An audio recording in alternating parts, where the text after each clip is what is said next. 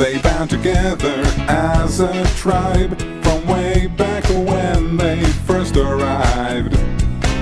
They're God's chosen people and they have their own holy land.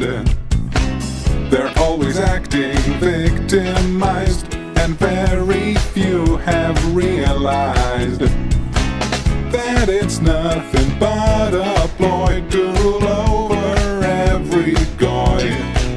109 100 places places they have been kicked out of, and I cannot find cannot find any other races that have that to be proud of. They run the media, the banks, the wars, the schools, and Hollywood.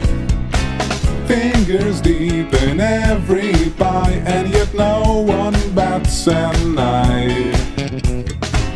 They are the Cohens, Levi's, Shulmans, Goldenbergs, and Rubensteins.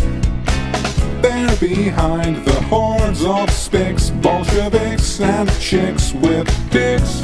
109 100 places places they have been kicked out of, and I cannot find cannot find any other races that have that to be proud of. 109 100 places places they have been kicked out of, and I cannot find cannot find any other races that have that to be proud of. 109 100 places places they have been kicked out of, and I cannot find cannot find any